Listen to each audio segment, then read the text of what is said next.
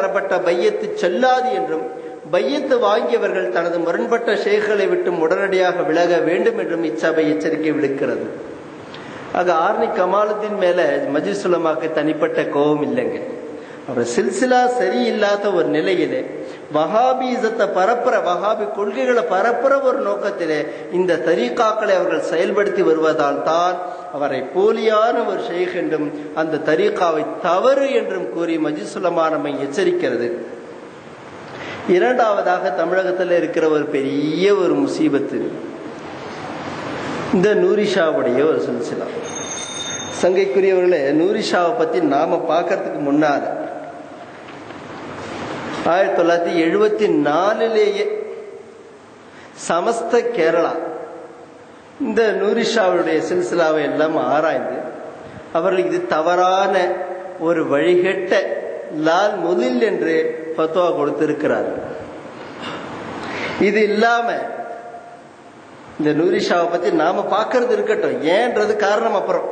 யார் யாரெல்லாம் அவளை எதிர்த்திருக்கிறாள் என்பதை முதல்ல தெரிஞ்சுக்கும் காஜா ஹசன் ஹுசைன் ஹில்மி என்பவர்கள் நூரிஷா தரீகா வழிகட்டது என்று கூறி துருக்கியிலிருந்து வருகின்ற இந்த வக்குல் இஹ்லாசி என்ற ஒரு அமைப்பிற்கு தெரியும். அவர்கள் நூரிஷாவை பத்தியே ஒரு கிதாபை எழுதி வெளியிட்டிருக்காங்க. இது இல்லாம அது நிசாமுத்தீன் அவுலியாவுடைய பாரம்பரியத்தை சார்ந்த ஹாஜா ஹசன் நிசாமி அவர்கள் இஃப்திரா கே ஃபைசல் மூமினோ கே அஸ்பாப் எனும் நூலில் அவங்க அந்த கிதாபில் எழுதுற விஷயத்தை சொல்ற இன்றைக்கு இந்தியாவிலே வஹாபிகள் தரீக்கத்தே சிஸ்தியாவிலே அதிகமாக நுழைந்திருக்கிறார்கள். தரீக்கா சில்சியாவிலே அதிகமாக நுழைந்திருக்கிறார்கள். நுழைந்து தரீக்கா எனும் போர்வையிலே மக்களை வழிகெடுப்பதற்கு அவர்கள் ஆயத்தமாக இருக்கிறார்கள். எனவே அவர் எழுதுறாங்க சிஸ்தியா தரீக்காவுடைய விஷயத்திலே கவனமாக இருங்கள் என்று எழுதுறாங்க. அப்ப இந்த நூரிஷால்கள் சிஸ்தியா தான் பையத்து கொடுக்கிறோம்னு சொல்றாங்க. சங்கைக்குரியவர்களே தர்கா இதழ் படிச்சிருப்பீங்கன்னு நினைக்கிறேன். போன மாதத்திற்கு முந்தன மாதம் வந்த எடிஷன் இது. இதனுடைய தலையங்கத்திலே தரிகாவிலுமா வஹாபி வேஷம் என்று ஒரு டைட்டில் போட்டு எழுதியிருந்தாங்க. எந்தெந்த போலி ஷேகுமார்களை பத்தி போலி தரிகாவை பத்தி நோட் பண்ணியிருந்தாங்க. இதை படித்த உடனே வெளிவந்த உடனே தஞ்சை பகுதிகளில் ரொம்பவும் ஒரு கொந்தளிப்பு. ரொம்பவும் கொந்தளிப்பு. ஆளுக்கு ஆளு அது எப்படி நீங்க வந்து எழுதலாம்? போகலாம் வரலாம். அப்படி எல்லாம் ரொம்ப சத்தம் போட ஆரம்பிச்சாங்க. எங்கிட்டையும் ஒரு ஆளு புக்கெல்லாம் தூக்கிட்டு வந்தார். எப்படி நீங்க சொல்லலாம் எங்க ஷேഖை பத்தி? எங்க ஃபைசியை பத்தி உங்களுக்கு தெரியுமா? அவர் எவ்வளவு பரிசுத்தமான ஒரு நபர்னு தெரியுமா? நான் சொன்னேன் அப்பா உங்க ஃபைதிஷாவை நான் பார்த்தது இல்லை பின்ன எப்படி நீங்க அவர் சொல்றீங்க? கொண்டா உங்க புக்கு கொண்டா உங்க பிரஸ்லேயே ஃபைசுன் வைத்து நூறுன்னு சொல்ல உங்க ப்ரெஸ்லேயே போட்ட உங்க கித்தாபையே வாங்கி அவர்கிட்ட சொல்றேன். பாருங்க பதினோராவது பக்கத்துல கித்தாபுடைய பேரு நூறு நூறு. இந்த புத்தகத்தை அந்த ஃபைதிஷாள்களே வெளியிட்டிருக்காங்க. அந்த புத்தகத்துல எழுதியிருக்கிறார் பத்தொன்பது ஆண்டுகள் ஃபைஷா என்று சொல்லக்கூடிய அப்துல் பஷீர் அவர்கள் பத்தொன்பது ஆண்டுகள் தப்லி ஜமாதிலே சுற்றி திரிந்தவர்கள் என்று அவர்களே எழுதியிருக்கிறார்கள். பாருங்க சுன்னத் ஜமாத்திற்கு விரோதமான மகாவிதத்தை தன்னுடைய மூலமாக கொண்ட தப்லி ஜமாத்துல சுற்றுன ஒரு மனுஷன்தான் இந்த அப்துல் பஷீர் என்று சொல்லக்கூடிய வைதிஷா குழப்பம் ஃபைதிஷா இருந்து மட்டுமில்லை அவருடைய ஷேக் நூரிஷா கிட்ட இருந்தும் ஆரம்பிக்குது. ஏன் நூரிஷா கிட்ட இருந்து குழப்ப ஆரம்பிக்குதுன்னு சொன்னா அதுக்கும் ஒரு ஆள் விஷயத்த சொல்ல வரேன் மௌலவி அஷப் அலி தானவி என்பவரை பற்றி நீங்கள் கேள்விப்பட்டிருப்பீர்கள். நிச்சயமாக இந்த மேடை எத்தனையோ பெரிய நாதாக்கள் வந்து நின்ன ஒரு மேடை. எத்தனையோ பெரிய விஷயங்களை எல்லாம் உங்களுக்கு சொல்லி தந்திருக்கின்ற ஒரு மேடை. ஸோ உங்களுக்கு வந்து விளக்கமாக சொல்ல வேண்டும் என்ற ஒரு அவசியம் இல்லை. மௌலவி அஷப் அலி தானவி என்று சொல்லக்கூடியவர் யார் என்று சொன்னால் தபிலீகனுடைய ஸ்தாபகர் மௌலவி இல்யாஸ் காந்தலவி சொல்கிறார் எனக்கு கனவிலே அருளப்பட்ட தப்லீக்கினுடைய முறை என்னதாகவும் அதிலே போதிக்க அதிலே நான் சொல்ல வருகின்ற விஷயங்கள் அஷபலி அலி தாரையுடையதாகவும் இருக்க வேண்டும் என்று நான் ஆசைப்படுகிறேன்னு சொன்னான். ஆக தப்லீக் போராடுங்களே இந்த கதையே இவனுக்கு கனவுல காட்டப்பட்ட ஒரு விஷயம்தானே தவிர குரானை கொண்டோ ஹதீஸை கொண்டோ ஸ்தாபித்து செய்த ஒரு விஷயம் அல்ல.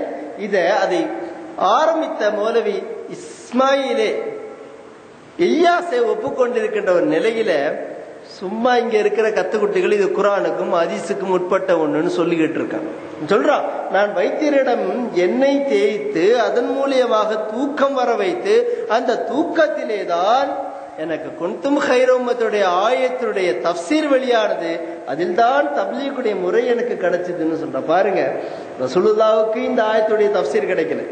அதுக்கு பின்னால வந்த நாதாக்கள் சகாபத்துகள் யாருக்குமே நம்ம தப்சீரே சொல்லாம மூடலாக விட்டு போன மாதிரியும் இவனுக்குத்தான் அல்லாஹு தாலா என்னமோ புதுசா இந்த ஆயத்தினுடைய விளக்கத்தை கொடுத்து ஒரு தப்லீக் ஆரம்பிடான்னு சொன்னதை போலவும் நம்ம எல்லாம் மடையர்களாக நினைத்து கொண்டு அவன் சொல்லுகிறான் வைத்தியரிடம் எண்ணெய் வாங்கி தேய்த்து நான் தூங்கிய அந்த தூக்கத்திலே எனக்கு தபிலீகுடைய முறை வெளியானது எவ்வளவு ஒரு பைத்தியக்காரன் என்று நம்மை நினைத்து கொண்டு அவன் பேசியிருக்கிறான். அதையும் புரிந்து கொள்ளாமல் அதை ஹதீஸுக்கும் குரானுக்கும் உட்பட்ட ஒன்று என்று இன்றமும் பேசித்திருக்கிறவர்களை பார்த்து நாம் என்ன நினைக்க வேண்டியிருக்கிறது? இந்த இல்லியாஸ் காந்தலை சொல்லுகிறார் இந்த தப்லீக்கினுடைய முறைதான் என்னது? ஆனா நான் இதுல சொல்லித்தரவுடைய விஷயங்கள் யாருது? அஷப் அலி தானவினுடையது என்று சொல்றேன். யார் இந்த அஷப் அலி தானவி?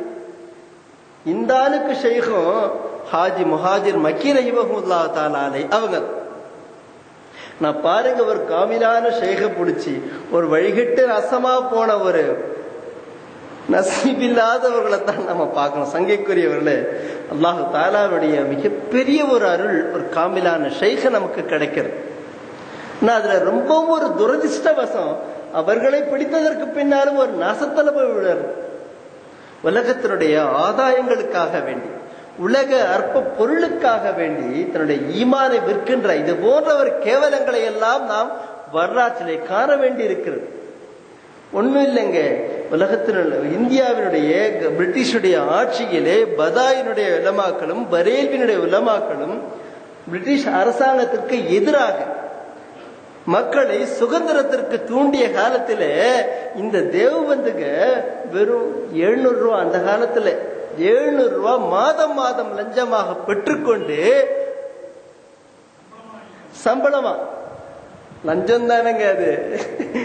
சம்பளமாக பெற்றுக்கொண்டு இஸ்லாமிய மக்களை எப்படி திசை திருப்பலாம் ஆங்கிலேயர்களுக்கு எதிராக போரிடுவது உபுரு நேபத்துவா கொடுக்கிறான் அவர்களுக்கு எதிராக ஜிஹாது செய்யக்கூடாதுன்னு பத்துவா கொடுக்கிறான் இவனை போல ஒரு துரோகிகள் எல்லாம் நாம பார்த்துக்கிட்டு தாங்க இருக்கிறோம். ஆனா சங்கைக்குரியவர்களே இஸ்லாமிய மக்களிடத்துல நான் ஒரே ஒரு கேள்வி கேட்க விரும்புறேன். வரலாற்றினுடைய நிகழ்வுகளை நாம மறந்து போகிறது வரலாற்றுடைய நிகழ்வுகளை மறந்து போவது நம்முடைய ஈமானை சில சமயம் குலைக்க செய்து விடுகிறது. இல்லைன்னு சொன்னா சவுதி பண்ண அராஜகத்துக்கும் ஆயிரத்தி தொள்ளாயிரத்தி இருபத்தஞ்சுல இந்த அப்துல் வஹாப் நதீனுடைய குரூப்புகள் ஹரமையில் செய்த துரோகத்துக்கோ யாராவது நினைவு வச்சிருந்தா சவுதியை பத்தி ஒரு நல்ல எண்ணம் வருமா நமக்கு? ஆயிரத்தி தொள்ளாயிரத்தி இருபத்தி அஞ்சுங்க மே அஞ்சாம் தேதிங்க ஷவுக்கத் அலி என்று சொல்லக்கூடிய ஹிலாபத் கமிட்டியினுடைய தலைவராக இருந்த இந்தியாவினுடைய ஷவுக்கத் அலி அவர்களுடைய ரிப்போர்ட் பாருங்க. நஜித்தினுடைய அரசனாக இருந்த முகமது பின் அப்துல் சவுது உடைக்க மாட்டோம் உடைக்க மாட்டோம்னு சொல்லிக்கிட்டே மதினாவுடைய மக்காவினுடைய பாரம்பரியங்களை இடித்து தள்ளிய ஒரு கொடூரம் நடந்திருக்கு உலகத்தில். நாயம் சல்லாஹு தாலா அலி செல்லம் அவர்களுடைய அவருடைய புனிதமான துணைவியாருடைய புனிதமான தோழர்களுடைய கபர்கள் எல்லாம் உடச்சி வச்சுட்டு இன்னைக்கு போயிட்டு வர ஹாஜிகள் பார்த்துட்டு அங்கெல்லாம் ஒண்ணுமே இல்லப்பா. நம்ம ஊர்ல தான்ப்பா கபரை கட்டி பூவை போட்டு துணியை போட்டு வச்சிருக்காங்கட்டு ஒரு புதிய வழக்கம் வேணுமா? சவுதி போயிட்டு வந்த உடனே ஒரு புதிய இஸ்லாமை தெரிந்து கொண்டு வந்த ஒரு திருப்தியிலே அவர்கள் பேசுகின்ற வாசகங்களை கேட்கும்போது உள்ளம் பதறுகிறது. சங்கிக்குரியவர்களே இந்த அரபு நாடு அந்த சவுதி கவர்மெண்ட் ஒரு கிதாப் வெளியிட்டிருக்கான். ஹிஜாஸ் அப்படின்னு சொல்லிட்டு ஒரு புக்கு போட்டிருக்கான். அதுல இந்த மக் மதினாவிலே நயம் சல்லாஹு தாலா அலிசல்லம் அவருடைய கபரை இடிக்கிற ஒரு நிகழ்ச்சியும் எழுதியிருக்கான் அதுல பாருங்க அவன் எழுதுறா ரசுல்லாவுடைய கப் தர்பாருக்கு உள்ள போய் அந்த போர்வையை கிழி இழுத்து அந்த குப்பாவை இடிக்கிற நேரத்திலே அதை இடித்தவருடைய கண்கள் போய் உடனடியாக மறைத்து போய்விட்டார்கள். அதனால்